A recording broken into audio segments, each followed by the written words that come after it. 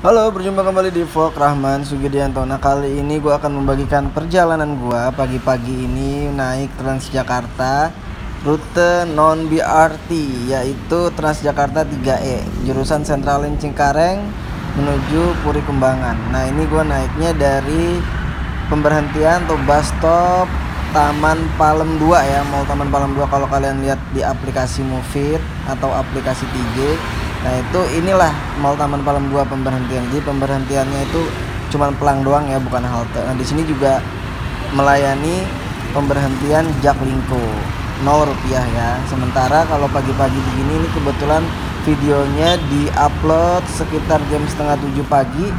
Nah ini naiknya cukup 2000 rupiah ya. Dan inilah bisnya, bisnya ini kecil ya atau mini trans.